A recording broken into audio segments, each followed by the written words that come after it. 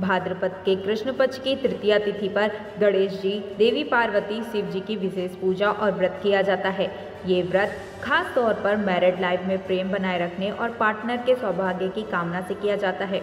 आपको बता दें, जो महिलाएँ हरियाली तीज का व्रत करती हैं, वे दिन भर निराहार रहती हैं। कुछ महिलाएँ बिना पानी पिए इस व्रत को पूर्ण करती है। इस दिन देवी पार्वती की पूजा मंत्र जाप ध्यान से किया जाता है।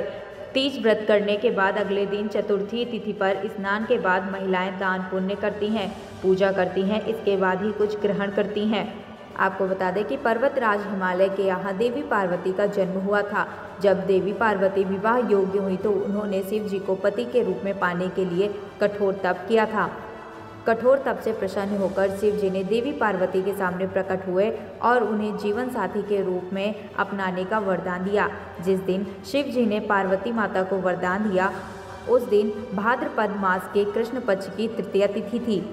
तभी से कन्याएँ अपने लिए श्रेष्ठ वर पाने की कामना से हरियाली तीज का व्रत करती हैं। विवाहित महिलाएँ सुखी वैवाहिक जीवन के लिए और अपने पति के सौभाग्य के लिए ये व्रत करती हैं।